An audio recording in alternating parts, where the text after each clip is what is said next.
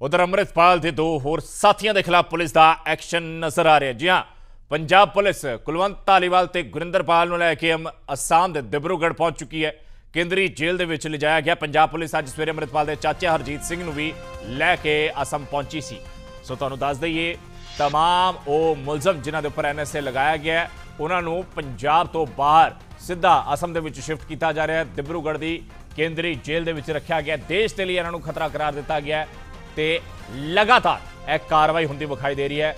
ਦੋ ਹੋਰ ਸਾਥੀਆਂ ਨੂੰ ਅੰਮ੍ਰਿਤਪਾਲ ਦੇ ਦੋ ਹੋਰ ਸਾਥੀਆਂ ਨੂੰ ਲੈ ਕੇ ਪੁਲਿਸ ਅੱਜ ਅਸਮ ਦੇ ਦਿਬਰੂਗੜ੍ਹ ਕੇਂਦਰੀ ਜੇਲ੍ਹ ਦੇ ਵਿੱਚ ਪਹੁੰਚੀ ਹੈ।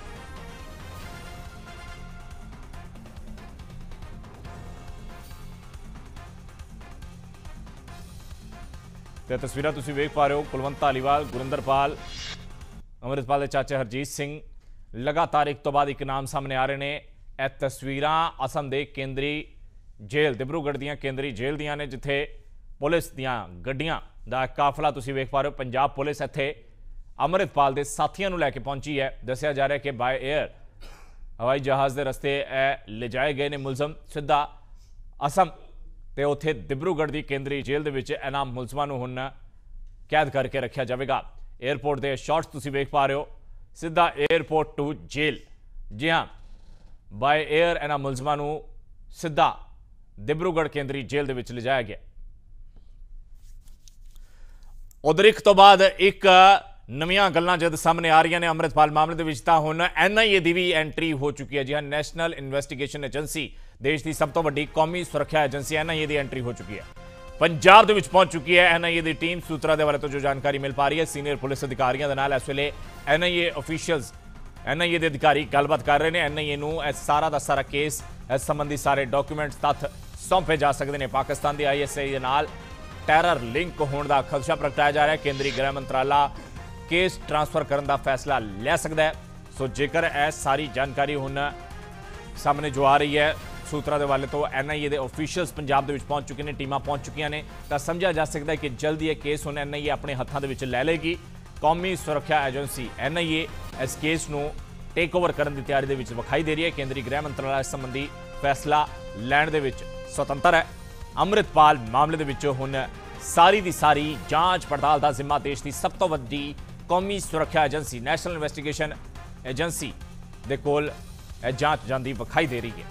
ਫਿਲਹਾਲ ਸੂਤਰਾਂ ਦੇ ਵੱਲੋਂ ਤੋਂ ਜਾਣਕਾਰੀ ਕੁਝ ਸਮਾਂ ਹੋਰ ਲੱਗ ਸਕਦਾ ਹੈ ਅਧਿਕਾਰਿਕ ਤੌਰ ਦੇ ਉੱਪਰ ਪੁਸ਼ਟੀ ਹੋਣ ਦੇ ਵਿੱਚ। ਇੱਕ ਵਾਰ ਮੁੜ ਤੋਂ ਤੁਹਾਨੂੰ ਦੱਸ ਦਈਏ, ਜਿੱਥੇ ਇੱਕ ਪਾਸੇ ਵੱਡਾ ਕ੍ਰੈਕਡਾਊਨ ਪੰਜਾਬ ਦੇ ਵਿੱਚ ਚੱਲ ਰਿਹਾ ਲਗਾਤਾਰ ਅੰਮ੍ਰਿਤਪਾਲ ਦੇ ਵੱਖ-ਵੱਖ ਸਾਥੀਆਂ ਨੂੰ ਅਰੈਸਟ ਕੀਤਾ ਜਾ ਰਿਹਾ ਹੈ।